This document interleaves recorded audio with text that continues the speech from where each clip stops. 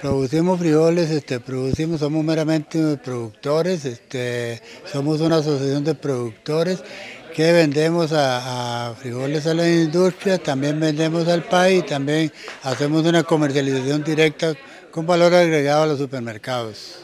¿Cuántos quintales producen ustedes acá? De 6 a 7 mil quintales por, por cada periodo. Aquí hay dos periodos de cosecha también. Entonces siempre se produce tamaño poco porque el periodo de invernal es un poco más pequeña la cantidad, pero este, eh, veranera eh, es donde se produce más cantidad. ¿Cuántas personas se benefician de eso? 130, mm, 125 más fuera, gentes que están fuera de la asociación que también están beneficiándose indirectamente.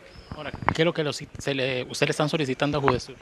A una ayuda, una ayuda económica, este, por ejemplo, maquinaria para para la eh, porrea de frijoles en el campo, sí, eso es maquinaria agrícola, más que todo un tractor, una porreadora, e incluso este, estamos viendo la posibilidad de, de, de, a futuro tener energía limpia con el ambiente, como por ejemplo paneles solares. ¿De cuánto estamos hablando, este, don Nelson, en Sur? Estamos hablando como unos, es que no tengo exactos datos, pues no tengo exactamente las cotizaciones ahorita, pero pueda que ronde entre 100, 110, 120 millones. La reunión de esta tarde acá es precisamente explicarle a los miembros de Juvesur el proyecto de ustedes.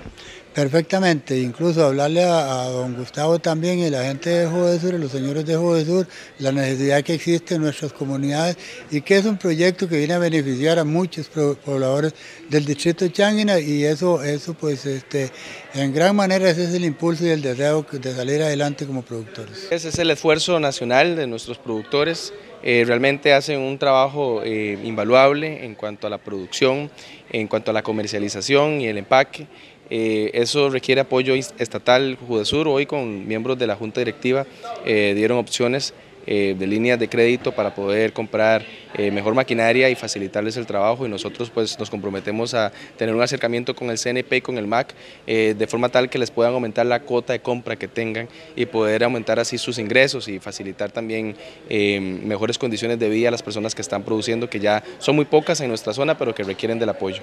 Yo creo que el esfuerzo de Judesur y en este caso el CNP y el MAC que nosotros podamos coordinar con ellos va a ser de gran ayuda para la reactivación económica de este cantón, de este distrito y por supuesto ayudar siempre a la producción nacional.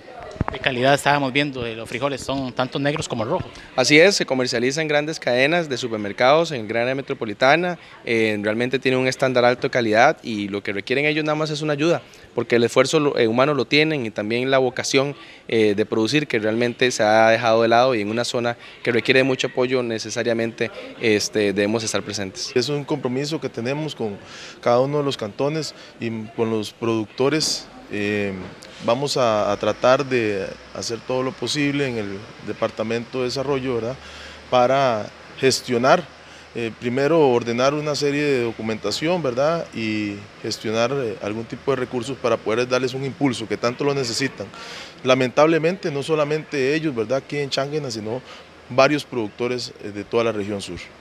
Son productores frijoleros, ya vemos que son de calidad rojos y negros y que también requieren de la colaboración del gobierno. Sí, claro. De hecho, eh, muy buenos, muy buena calidad de frijol, ¿verdad? Frijoles changuena, rojos, negros, eh, una calidad excelente, ¿verdad? Cómo duele ver tanto, tanto producto almacenado en bodega, pudiendo estar en cada uno de los, de los hogares de, toda la, de toda la región brunca, ¿verdad?